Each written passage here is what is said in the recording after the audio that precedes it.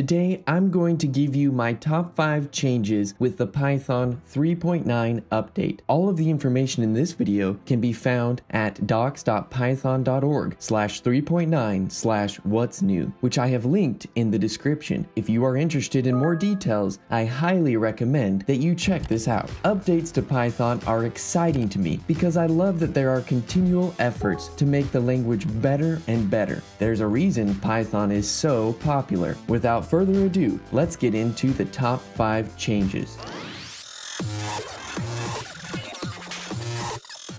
Number 5. New functions in the Curses module. This module, which allows a user to interact with the Curses library for portable advanced terminal handling, added curses.get escape delay, curses.set escape delay, curses.get tab size, and curses.set tab size functions. I love to see new features being added. Number 4. Pretty Print can now pp print the type dot simple namespace. Dictionaries were sorted by key before the display was computed, but now this has changed in version 3.9 because it added support for pretty printing types dot simple namespace. Pretty Print is a nice luxury, and I'm glad to see it's becoming more robust. Number 3. Exchanging the split method of tkinter.Tkapp type in favor of the split list method, which has more consistencies and predictable behavior. This is just out with the old and in with the new. Number 2. In the random module, seeds will now be restricted to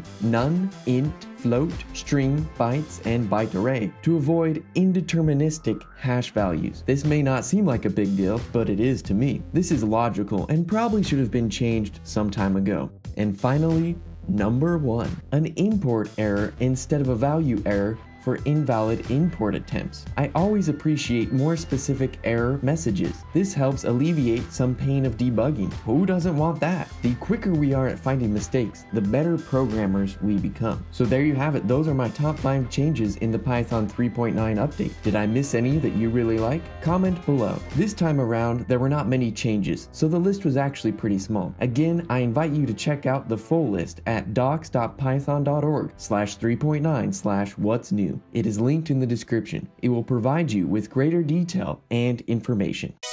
Thanks for watching. I hope you enjoyed this video. For more videos on Python, check out this playlist. It's full of all kinds of Python tutorials like this one.